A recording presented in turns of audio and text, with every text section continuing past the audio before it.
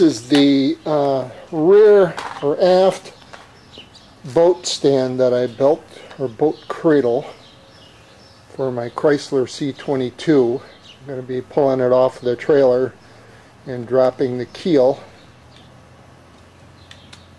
And we got a razor up and we need something strong. I got a, another thing for the front, but I'll show that later. I'm going to document the uh, whole process.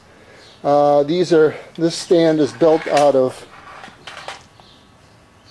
4 by 6 timbers, 3 quarter inch plywood uh, gussets or supports on the side. It's all through bolted with 3 ace carriage bolts and lag screws down here glued with uh, liquid nails could use PL500 any of those type of construction adhesives. And then I've got some half inch thin wall or EMT tubing that I cut 18 inches long flattened the ends on each end 2 inches and made uh, corner brackets to uh, stabilize it sideways though this thing is rock solid the way it was but I believe an overkill now that's the basic frame.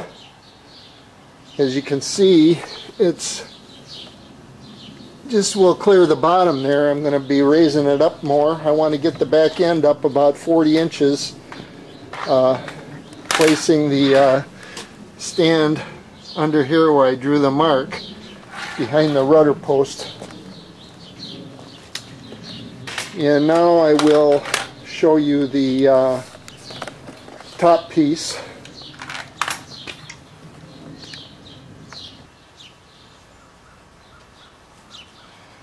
Alright, this is the top piece that will support the, and cradle the boat. It's two by, I don't know, two by 12 lumber. I'm recording. And uh, fits in here like so.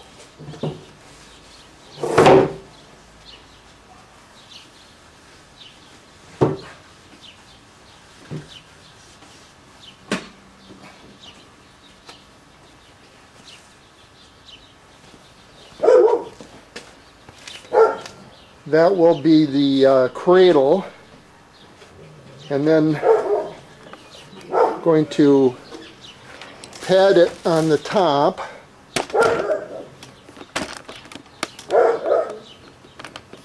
With some quarter inch plywood.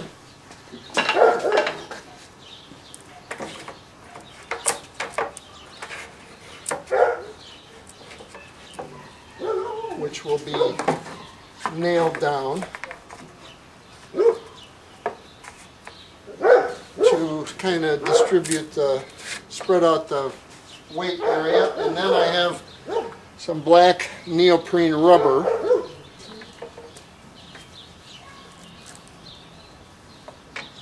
Which I will also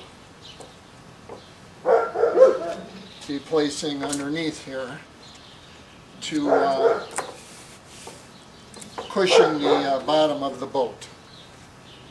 That'll raise up that part oh, a foot and a half or foot in up to about 40 and a half inches.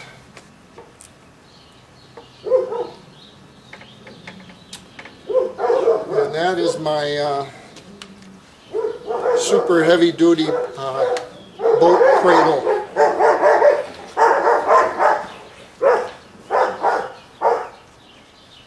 Barking, no extra charge.